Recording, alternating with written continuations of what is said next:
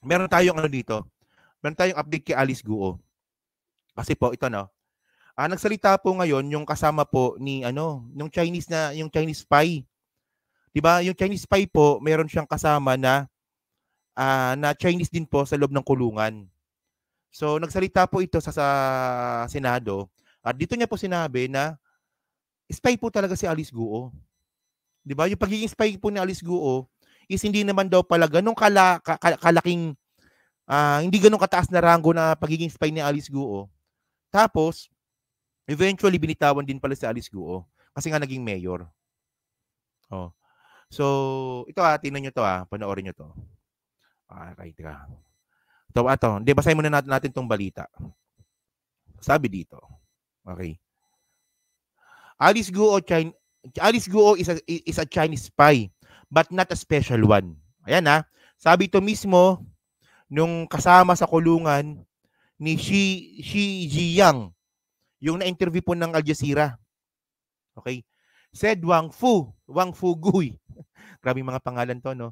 A former cellmate of detained self-confessed Chinese spy, Xi Jiyang, who was featured in the Al Jazeera documentary. Wang Fu, Wang Fu Gui, Gui ba? Wang Fu, Wang Fu Gui, in a video shown during the, the hearing of the Senate, told the office of Senator Rizon Taveros that he was entrusted with Xi's classified files, which included the alleged uh, dossier on Guo. So, magkasama daw po sila sa kulungan and then um, nagkaroon daw po siya ng access dyan po sa mga dokumento po ni Xi Jian. Tandaan natin natin mga kababayan, di ba? Alam niyo kung anong malupit dito kung bakit ko kinontent ito? Yung pagpasok po ng Pogo sa Pilipinas ni Duterte, is national security threat pala ito. Nakalagay yan dito. Sinabi yan mismo dito sa, sa, sa, sa video na to. Kaya ayun po nakakatakot sa ginawa po ni Digong. Di ba? Naging national threat po ang Pilipinas because of the POGO. Pakita ko sa inyo mamaya, no? Basahin lang muna natin to. Sabi pa dito. He also claimed that Guo's 2022 run for mayor of Bamban, Tarlac was arranged by the Chinese state security 'Di ba? There was no uh, there's no immediate feedback from Guo who was also present in the Senate hearing. So anong nangyari kasi dito, andun din po si Alice Guo po sa hearing. Yun nga lang eh ano, ah nag nag ano sila, nag nag uh, executive session sila para marinig po yung statement ni Alice Guo. So ngayon, panoorin natin yung video. Okay? Ayan. Ah, merong translation yan sa yan, merong translation yan yan sa yan sa taas, no. Sige. Panoorin natin 'to.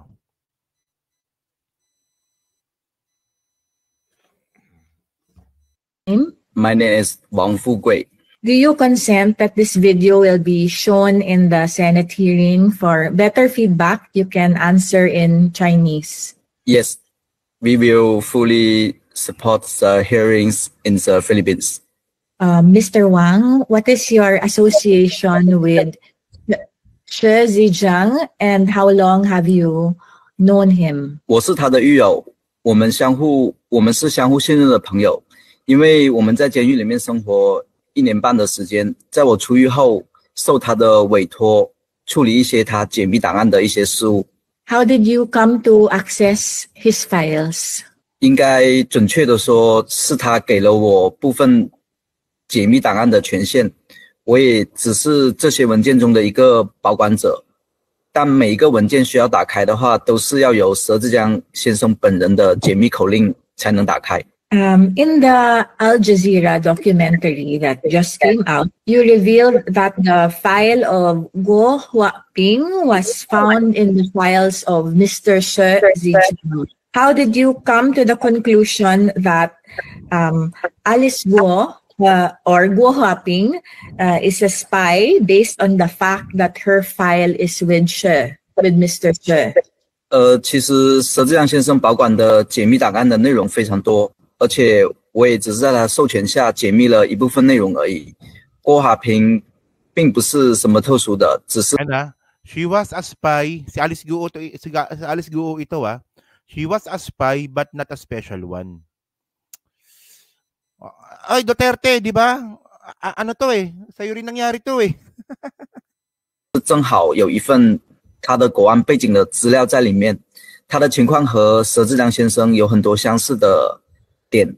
我也只能说到这里了，因为我不是佘志良先生本人。按照我和佘志良先生的约定，我只能透露这么多了，抱歉。When Okay, so yun, sinasabi niya, no? and how, if you know only that uh, Guo Huaping was recruited to become a spy, um, would you know the circumstances of her recruitment and why she was specifically recruited? 这个情况，佘志良先生在监狱中就跟我说了一些。首先，所有的国安招募的外勤特务都会有非常详细的背 Okay, ah, teka, teka, teka, ah, ito interesting to ah. Um, would you know the circumstances of her recruitment and why she was specifically recruited? 这个情况。 Mr. Shi told me something about the situation when he was in prison. 况佘志良先生在监狱 中就跟我说了一些。首先，所有的国安 First of all, all uh, field agents recruited by state security will have 招募的外勤特务都会有非常详细的背景资料调查，very detailed background information investigated. Okay. 也有专门的黑客小组和同乡 Uh, And there are also special hacking teams and hometown associations, di ba? 会、商会负责海外的资料收集，包括背景资料里面会掌握一些人的 And chambers of commerce in charge of overseas information collection. O di ba? Pati pala ano, putang ina no, pat pati pala ah, ekonomiya ng Pilipinas apektado dito sa mga spy-spy na to, no?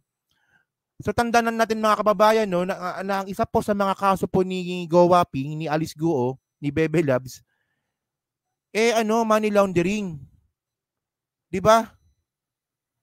秘密和弱点，这也是国安在海外控制外勤的主要方法。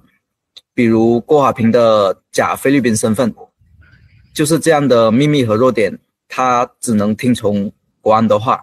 佘志良先生的经历 For example, Go Go Waping's fake Filipino identity is such a secret and weakness.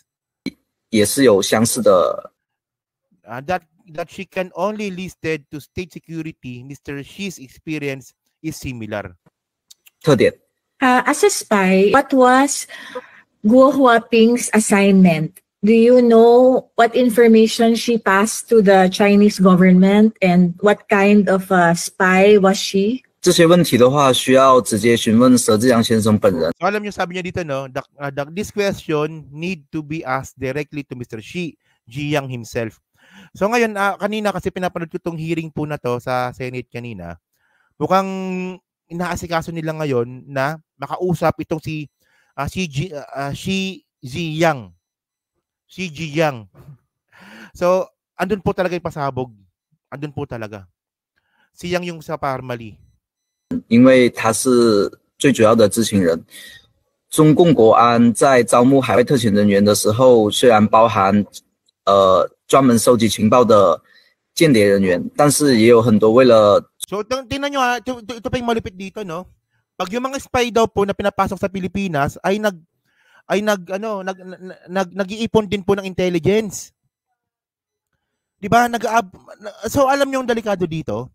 Si si Alice Guo po kasi mga kababayan, nakapasok na po sa gobyerno. Well, bilang mayor, hindi pa naman ganun kalakas yung access niya about sa security. Pero kapag ito po ay nakapasok po sa Senate o sa Congress, andun po talaga yung mga sensitibong usapan. Buti na lang mga kababayan, nahuli ka agad dito si Alice Guo. Kasi pag ito tumakbong, pag ito tumakbong congressman, congresswoman at, at nakapasok sa loob, ang daming information ang pwede niyang ibato sa China. Di ba? O kung hindi pa si Presidente Bongbong Marcos malamang yung naging presidente, malamang wala tayong kaalam-alam dito. Di ba? Palpak talaga tong si Digong eh. Oh, continue, continue. Si Bongo spy yun. 中国政府谋取政治和经济利益的，比如有些国家的官员和商人。 Who else in her family and associates are involved in the spying operations? And if you know the answer, in what ways are they involved? 嗯， 这个内容的话，我目前没有权限回答你们了，因为太复杂，涉及的面非常广泛。我只能告诉你们，中国政府的胃口非常大，手也伸得非常远。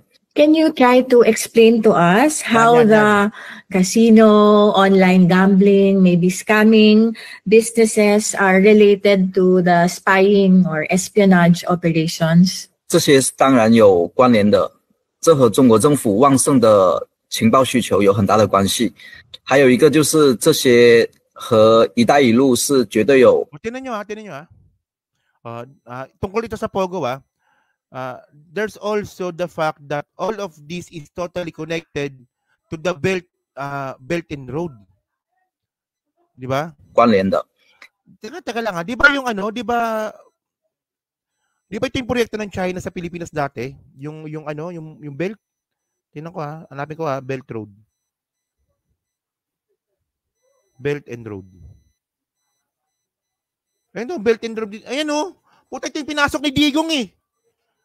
Eh, di ba oh? Belt and Road Initiative oh. Ito yun eh. Ayan oh. Oh, which is also just part of the huge United Front and Intelligence Strat- Strat- Strategic Plan for the New World Binibinanggit niya yung Belt and Road Initiative eh. Ito yung pinasok ni Digong eh.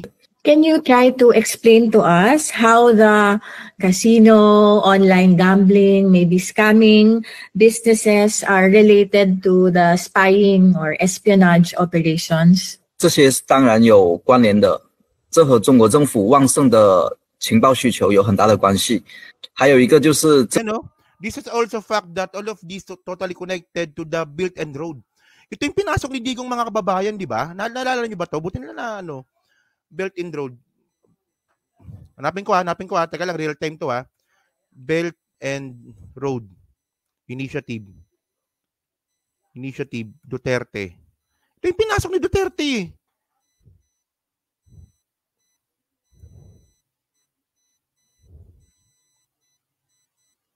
Saan na ba? Ah, ito nga oh. Oh, Duterte Economic Management. Ah, okay. Ah, na-drop na pala. Buti na lang. Oh, kita nyo mga kababayan. Oo. Oh, tubuti na lang mga kababayan. Pakita ko sa inyo. Buti na lang kamo. O, ito galing tong ano, uh, uh, Desuel, uh, Desuel ano, ah, news. Okay, na-drop na pala yan. Buti na lang kamo, 2023 na-drop na yan. Puta, magiging parte pala ito ng ano, ng espionage ng China. Ayan oh. Agree nga natin. Yan no. Philippine drops belt and road as tensions flare. Ito nabalita ito 2023. Ayan no. Oh.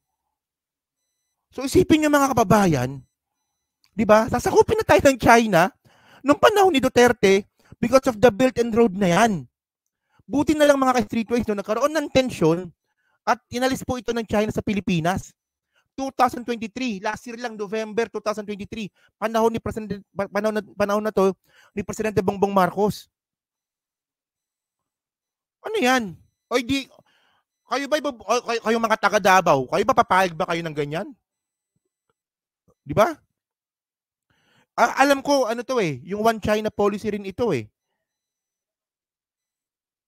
Ay. Ay. Putang na yung pinasok ni Digong na Belt and Road Initiative ng Pilipinas at China, parte ng espionage. Sabi niya ha, hindi ako may sabi niya, sabi niya. Oh. Lahat na lang lahat na lang lahat na lang nakapalpakan pinasok ni Duterte. Hindi ko talaga makuha yung punto kung bakit ang dami pa rin taong mga bobo ang naniniwala pa rin po na malaki ang naitulong ni Duterte sa Pilipinas. Eh, ito nga oh, palpak yan eh.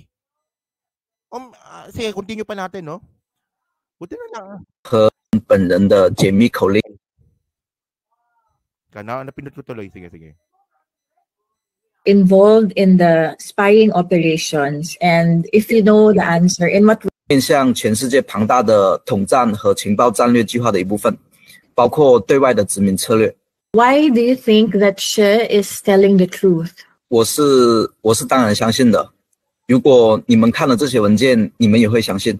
To your knowledge, are there other Chinese spies in the Philippines? 每个每个国家的都有，而且并不完全是。 Sabi ni Erwin Lopez, fortunately, di, nag, di nag-prosper yan. O, bu- buti na nga lang, di ba? Buti na lang, di nag-prosper itong Built and Road Initiative ni Digong tsaka ng China, no? Puta. 是华人，我只能回答这些了。 In the Al Jazeera interview, She talked about a handler who was the go-between between Guo Huaping and She. Who is this handler? Um, is he also working for Yatai, or does he is he connected to the government? Um, is he the handler of Guo Huaping? So all things that you can say about him. 这个人叫马东立，他是中共的党员， 他是佘志良先生的国安联络人，是红二代的身份。当然，他也有一个美国的身份，还有他是泰国华人协会的副会长。他在佘志良先生被非法诱捕之前，是亚太排名第三的高层。他很有可能是郭华平的上线。佘志良先生和郭华平之间的联系就是通过马东立，我也只能回答这些问题了，谢谢。To your knowledge, was Guo Huaping planted here as a spy, like when she was a child, or did she first become very successful, then became a mayor before she was stopped to work for the Chinese Yan, magandang tanong government? yan. 郭华平的竞选本身就是中共国安安排， Ah, her campaign itself was arranged by the Chinese state security. Okay. 的。 After the Al Jazeera so, ibig sabihin pala, yung yung pagkampanya pala ni Go Waping bilang Bamban Mayor ay meron pala itong basbas ng China. Ta- talaga. interview, Mr. Wang, you had to move to an undisclosed location. Can you tell us why that was necessary? 这个是有必要的，因为不能小看中国国安的海外执行能力。我也希望听证会的议员们注意安全。 Have you tried to contact Mr. She after the Al Jazeera documentary? Were you able to get in touch with him? 嗯，佘志良先生目前因为接入郭华平女士涉及的 Ayun na, so medyo wala nang kwenta yung sinasabi. So alam niyo mga kababayan, no, naalala ko tuloy itong espionage na to eh. So mga ka-streetways, no, a- alam niyo, yung isa sa naka-bullshit na ginawa ni Duterte ito, pakita ko sa inyo ah. Isipin niyo,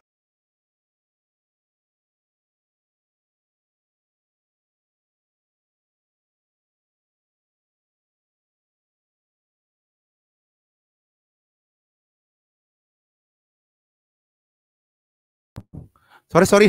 Nagkamali ako nung napindot. Sorry. Okay. So, mga kababayan, no, itong Built and Road Initiative, nagkamali ako na pinindot. Sorry. Yung Built and Road Initiative pala, mga kababayan, is parte pala ito ng espionage. And then, mga ka-streetways, alam niyo yung pinakamalupit na, na espionage na ginawa ni Duterte, ito, pakita ko sa inyo, ha. Ah, cell site. Cell site. Duterte. Duterte. ah AFP camp. AFP camp. Ito. Ah, China, China. China cell sites. China. China cell sites. Ito, ito, ito. Galing Reuters. Ito, yung, ito, yung isa sa mga bullshit na ginawa ni, ni, ni Duterte eh. So, Philippine to allow China-backed telco to build towers on military bases. Na, na, naalala nyo ito mga kababayan, no? So, isipin nyo, no? Si Duterte, di ba, nakipag ah, Belt and Road Initiative dito sa China. Tapos, ang sunod pa dito, yung yung dito, yung dito tel, yung dito cell sites. Okay naman yan kasi Philippine owned yan. Yun nga lang ang naglagay po diyan mga Chinese. Sige, okay lang din. Yung mga Chinese lang din po naglagay yan. Okay lang din, huwag tayong malisyoso. Pero alam nyo kung anong, anong pinakamalisyoso dito? Nilagay niya kung saan malapit po sa mga military bases. Walang iya talaga, no? Isipin nyo. Isipin nyo, kung kayo ba, ah, kung kayo ba isang isang matinong Pilipino, isang matinong presidente, gagawin nyo to?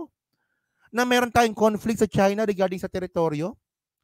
Tapos, di ba, nako-compromise na nga po yung national security natin sa Pilipinas because of uh, because of uh, Chinese. uh, dahil din po sa mga pogo na yan, nasa pinakamalupit mga kababayan, nagpagawa ka ng cell sites, China, China yung gumawa, tapos malapit sa military bases. Alam na, kasi mga kababayan, ang China po kasi komunista yon. So, yung mga gumawa po dyan ng mga cell sites po na, ng dito na malapit po sa military bases po na yan, ang lumalabas po dyan dahil po sa komunista po ang China, pagmamayari po ng gobyerno kung sino po yung maglalagay ng cell sites dyan po. Kasi ganun yun eh. Kasi kunwari tayo, di ba? Kunwari smart, smart.